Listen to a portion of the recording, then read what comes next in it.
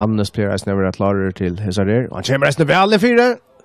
Har gjerne få hatt i avfist i alle forum, og så får det resten sparska borster. Johan Jakobsen.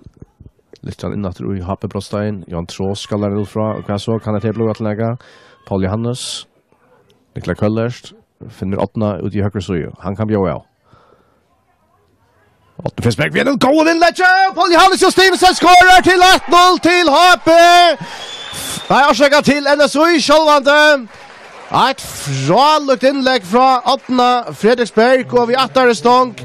I at atletja NSU i 8-2-0, så vi klemmer til bulten, og kvart, han skårer! 2-0 til NSU, Clement Olsen vi brottsparsen.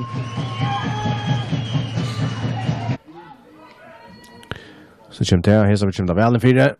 Og det var skalla i målet! Det var skalla i målet! Vi halde det er Paul Ingasson som skår.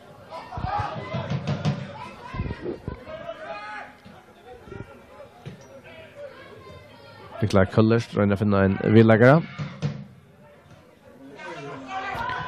Abjørn Missan, 8. Fredriksberg. Jorau. Hev Johan Messar til mål, Becklinda, den fyra.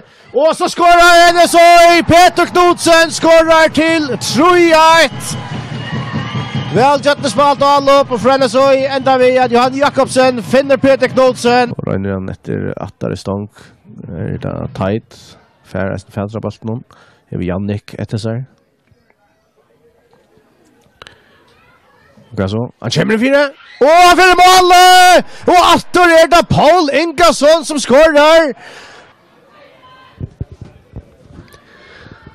Åttende av balten hon. Og for vel fram i her. Og litt av næsten inn. Og kvart, endres balten av malen Tatjeran! Tatjeran! 4-2 til NSOI! Og i halde det Paul Johannes Justinusen som får fætra som balten hon fan i malen. Fyr! Össur Dalbo Han skårar 4-3 i støva nu.